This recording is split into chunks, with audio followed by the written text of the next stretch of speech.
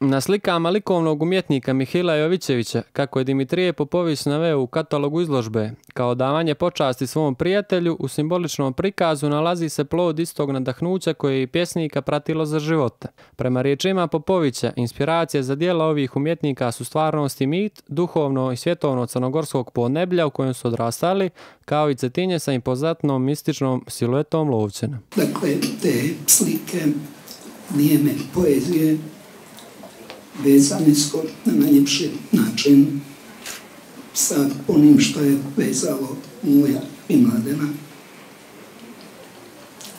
Čuli ste u tekstu da sam naveo ono što mi je moj rekao kad smo gledali te slike u njegovom ateljevu da su te slike za mladenu dušu. Slikara Mihajla Jovićevića i pjesnika Mladena Lompara spajalo je dugotrajno prijateljstvo i kreativna uzemnost.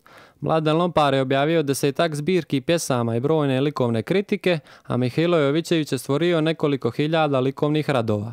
Obojica su za svoj rad dobila visoka društvena priznanja i zaslužene nagrade. Prisutnima se ispred cetinskog ogranka Matice Crnogorske obratio slikar i karikaturista Luka Lagator koji je kazao da nas je večeras spojilo iskreno prijateljstvo i lijepa ideja.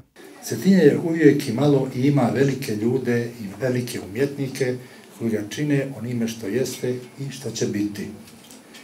Pjesniku Mladenu Lomparu, koji se prije godinu dana preseli u vječnost, slikar Mihajlo Jovićević posvjećuje dio svog umjetničkog bića preko ove neobične i nadahnute izložbe, a Matica Crnogorska uz podržku turističke organizacije prijestolnice Cetinje organizuje ovo veče kao znak poštovanja prema svojim uglednim članovima. U umjetničkom programu učestvovali su glumica Ana Vučković koja je čitala mladenove pjesme po izboru Marka Špadijera i Lomparovi unuci Viktor Hutar na violini i David Kovačević na harmonici. Izložbu je organizovao Cetinski ogranak Matice Crnogorske u saradnji sa turističkom organizacijom prijestolnice Cetinje.